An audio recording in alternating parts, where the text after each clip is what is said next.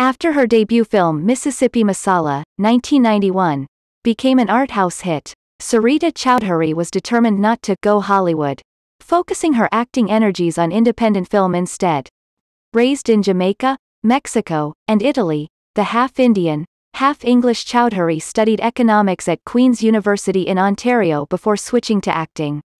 She casually auditioned for Mississippi Masala, 1991, and wound up cast as the lead opposite Denzel Washington in the singular interracial romance between a Southern African American man and a transplanted Indian woman.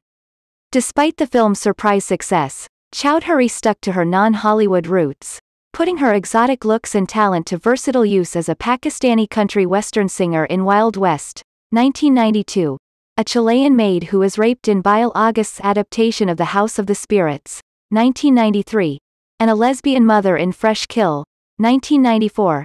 Choudhury worked with Mississippi Masala, 1991, director Mira Nair again in The Perez Family, 1995, and played the cuckolded Queen Tara in Nair's frankly sensual feminist parable Kama Sutra.